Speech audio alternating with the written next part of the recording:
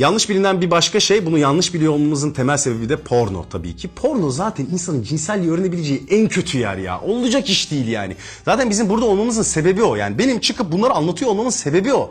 İnsanın cinsellikle ilgili ben nasıl sevişeceğim, nasıl daha iyi sevişirim beni araştırmaya başladığı zaman ulan sen orgazm yazıyorsun daha Google arama çubuğuna. E, ilk karşına çıkan şey tabii ki porno. Yani %80'inin erotik içerik olduğu bir dijital dünyadan bahsediyoruz. Ama ilk olarak gitmen gereken ve öğrenmen gereken yer orası değil.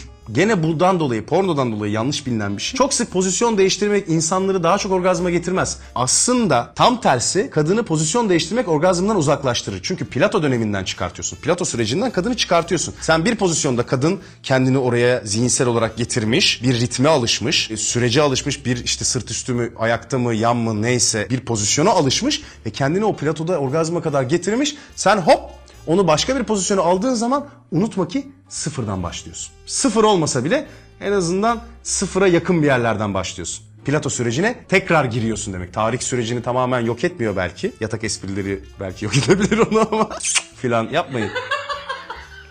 Ama pozisyonu değiştirdiğin anda kadının bir kere kendini o getirdiği süreçten kadını çıkartıp yeni bir hikayeye başlıyorsun. Bunu asla unutmayın. Çok fazla pozisyon değiştirmek demek daha iyi bir seks demek değildir. Bir başka hurafede yine orgazmla ilgili olarak aşkım başım ağrıyor.